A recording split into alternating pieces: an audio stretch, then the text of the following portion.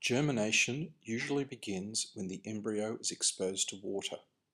The water swells the embryo inside, bursting the seed coat and setting growth into motion. During the earliest phase of growth, when the embryo has no leaves and therefore no means of making its own food through the process of photosynthesis, the seed itself becomes the food source. It serves the same function as the yolk in a bird egg, providing high energy food for the developing embryo. The root is the first structure to emerge from the seed during germination. It penetrates the soil very rapidly, forming a slender, usually unbranched root, which in some plants may penetrate several feet into the soil during the first few weeks of growth. The seed continues to supply the food for the developing embryo. After the roots have started growing downwards, the stem and the leaves start growing upwards.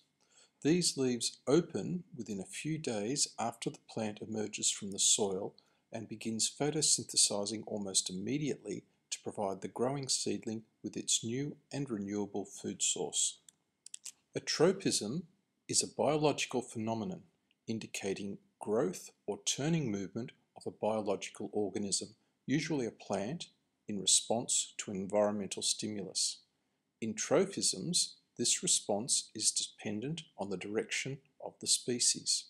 The word tropism comes from the Greek trope, no turn or to change. Tropisms are usually named for the stimulus involved and may either be positive moving towards a stimulus, or negative, moving away from the stimulus. Phototropism is the growth response of a plant in response to light direction. Different parts of a plant exhibit different reactions to light.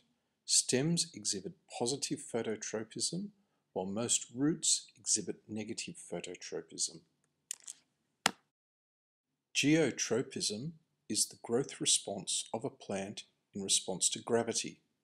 Roots exhibit positive geotropism, they grow downwards, while stems and leaves exhibit negative geotropism, they go grow upwards.